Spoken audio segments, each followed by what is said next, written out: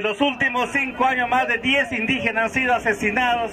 Es por eso que están aquí los hermanos para pedir al gobierno que actúe con celeridad y con acciones concretas, que defienda la ley de consulta previa, que defienda la ley de los pueblos en aislamiento voluntario, que dé una educación intercultural bilingüe de calidad, una salud intercultural de calidad. Las mujeres también tenemos derechos iguales que los hombres.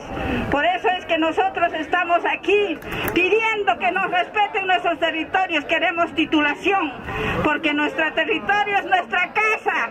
La selva amazónica está en peligro y tiene un grito en este momento por esa tanta deforestación, esa minería ilegal, proyectos de hidrocarburos sin consulta previa de nosotros como dueños de esta Amazonía que tanto queremos. Somos ciudadanos, nosotros venimos a reclamar derechos fundamentales como es la vida. Queremos defender nuestros territorios donde habitan nuestros pueblos indígenas en lamiento y contacto inicial.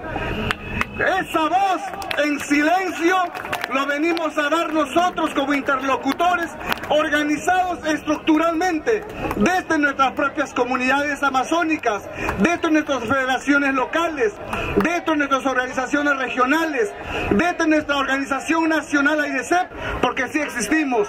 Merecemos ser escuchados, merecemos ser respetados y merecemos ser protegidos. Los de la Amazonía peruana no están solos.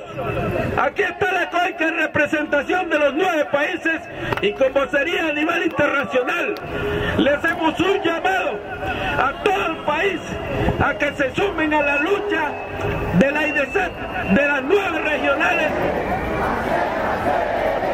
La selva, la naturaleza tiene derechos. Nuestro